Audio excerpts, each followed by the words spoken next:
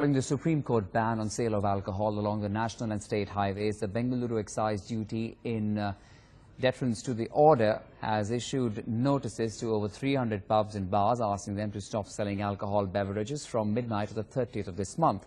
Following the Supreme Court's 500-meter ban order, the pub owners have started reducing their inventory. As many as 133 pubs in the city will face closure if the ban is not revoked or any relief is given to the bar or pub owners. They don't come under the national highway, they are the part of the city. Probably even the national uh, uh, highway authorities, they may given some clarification that they don't come under the national highway related to the national highway. Probably why this confusion has arisen is very surprising.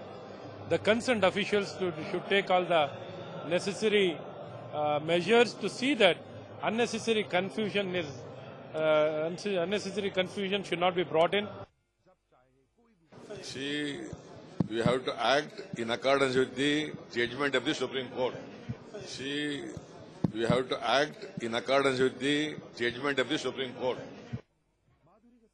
You have to ask excise minister or the other the, other, the chief minister, but already we have passed the cabinet decision requesting the center to denotify all the cities corporations from the national highway. That's why, because of Supreme Court order is there, no national highway, there should not be, uh, pubs and the bars are not allowed. My colleague uh, Sagai Raj uh, joins us with more on that story. Uh, Sagai, uh, obviously this is something that is going to affect a huge number of people. Uh, how are they looking at it? Is there a way out, they believe?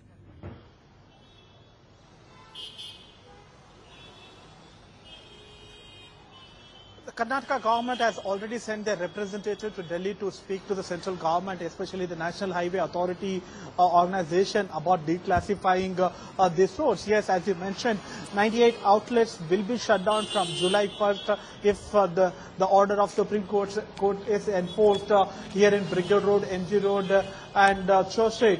And nearly 3,000 employees will lose their job.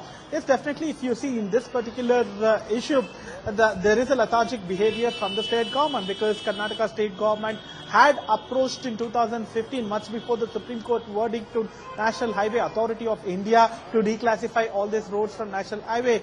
But after that, uh, none of the bureaucrats or officials did not follow uh, from the organization. Only after the Supreme Court verdict was pronounced, that's when uh, the bureaucrats woke up and tried to approach the National Highway Authority of India again. And what we get to learn from our sources is that uh, uh, there will be a representative who will be traveling to Delhi tomorrow. Back to you.